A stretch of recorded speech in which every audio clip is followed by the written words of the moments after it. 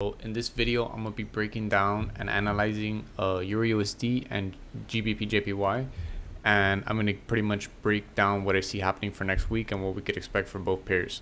So let's get right into it, and I'm gonna first break down Euro USD. I'm literally gonna do this from from uh, start to beginning. My graph is literally uh, empty right now, so you're literally gonna see how I mark my graph from from zero to uh, literally from zero to 100. So take advantage. All right, so check this out. This is Friday right here, right? So the market closed right here. So the first thing I do is mark my highs and lows of days. My high and low of day is to come from Friday, and I do this on M5. So I'm to just do this real quick, and let me do this here. So this is to be the low of day right here, the lowest point between Frankfurt and New York.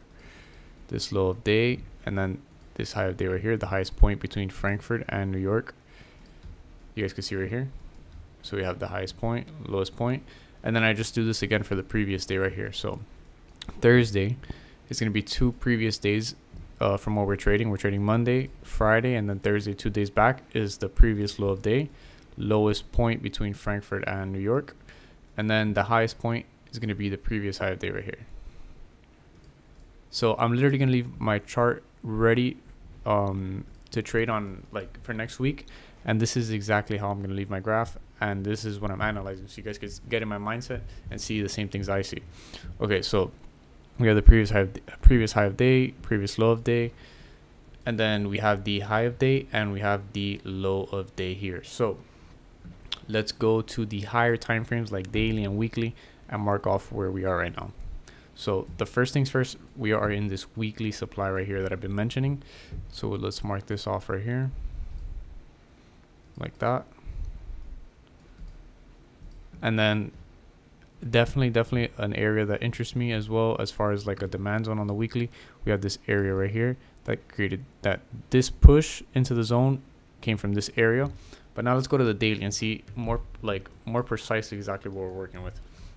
So if i stretch this out on the daily you can see that we have this demand zone right here that this area is more valid. This is a weekly but we have this um, daily zone right here that this is the previous candle previous contrary candle that created the push into the zone. So it's very likely this target let me delete this one so you guys don't get confused.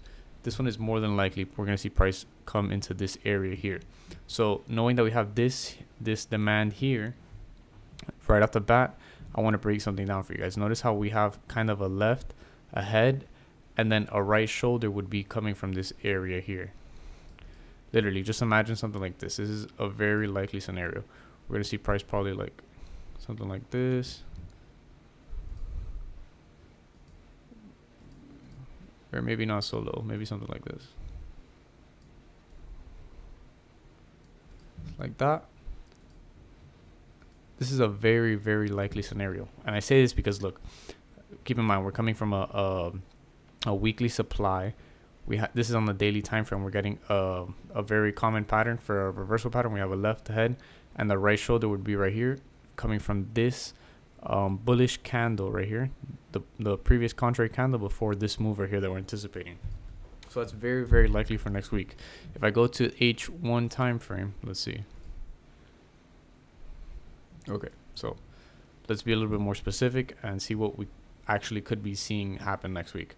So because I mean, what I just said it could happen, but I want to be more specific. I want to point out specific points. So, it's an area that I really do see that that the the sales could continue from. Like I said, it's gonna be this area here, being the um, it's it's the daily uh right shoulder. So it's gonna be like the daily supply right here, and we also have this previous low of day. So these two areas, I have I'm gonna keep in mind for for price to um like it's very likely for price to pull back into this area and the sales continue from this area is what I'm saying.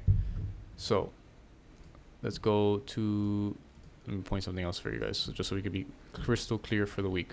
So keep in mind what I'm really anticipating is sales to come in from this area with this being the the, the target for the end of the week. So it's about like 200 pips, 220 pips. Yeah, like 222 pips. So that's what I'm anticipating for price to do. For price, let's just say to London pull back right here, um, and then for let's just say New York or the next day for the sales to come in. If price doesn't respect this area here, let's just say that price doesn't come in with the, the bearish volume, and price opens up and we see a bullish momentum. So let's see where price could go if we have a bullish momentum. On the daily time frame right here, we have this daily supply inside this weekly supply that this was the previous contrary candle that created the move right here. If I stretch it back, you guys can see that the move originally came from this zone. So it's just an area to keep in mind if price doesn't give us the sells from this area. This is an area that price could go to next if because in trading nothing's 100% sure everything's probabilities right so if price presents itself with our entry opportunity here we're going to take the sells this is going to be the main target if price opens up breaks these highs this is the main area that i see price going to and then definitely seeing getting some sells from this area as well so i see those two things happening for um, euro usd either we're going to get some sells from here or definitely price is going to head to this area and we're definitely going to see some sells coming from here. So we just got to wait and when we sit down to trade the session that we're going to trade see what we're working with and always wait for an entry confirmation.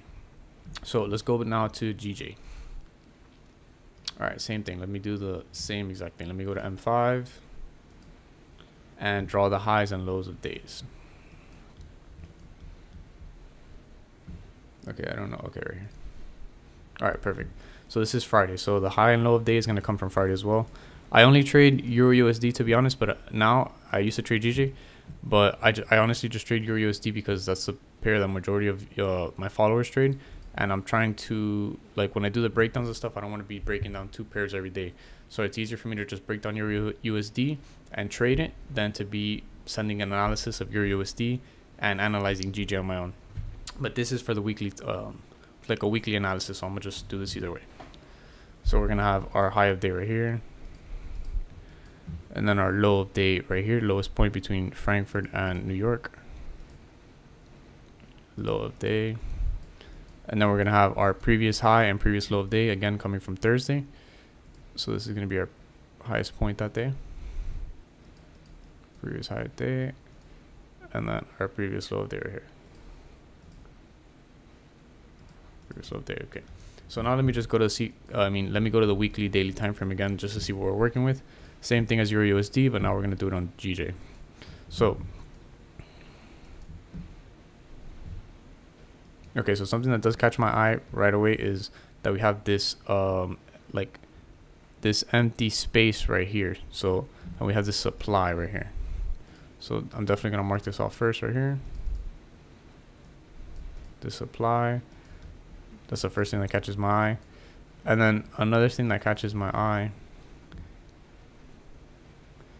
this demand right here, this area.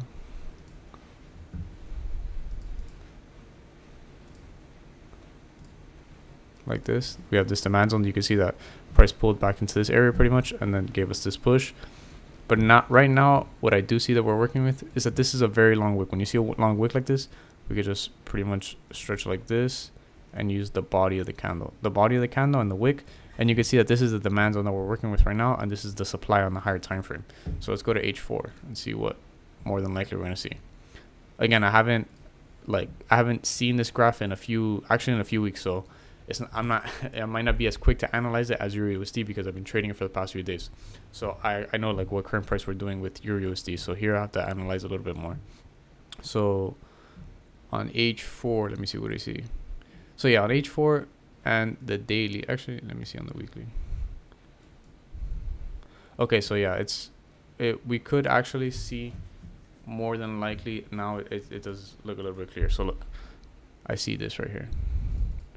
Notice on the weekly time frame we have this candle that closed right here and then right here we have this previous high of day right above the this candle right here. So we could get maybe um let me see Okay. Sorry about that. I, got, I was getting a message. Okay, so we could maybe see price pull back into this area here. That's very likely. We might honestly see price pull back into this area here, that being this supply on the weekly and this previous high of day here. And if we notice, we really don't have nothing stopping price because this supply was used right here. You can see that this, oh crap, I don't know this stretch. Okay, so you can see that the supply that we're working with right here, price used it already. So nothing, no supply is stopping price right here to this area. So it's very likely we might see price do this.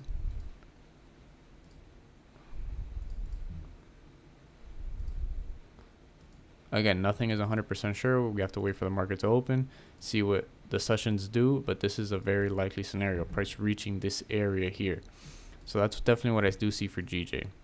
We might get price, price might open up, pull back somewhere here, and then continue the um, this bullish momentum into this area of supply right here.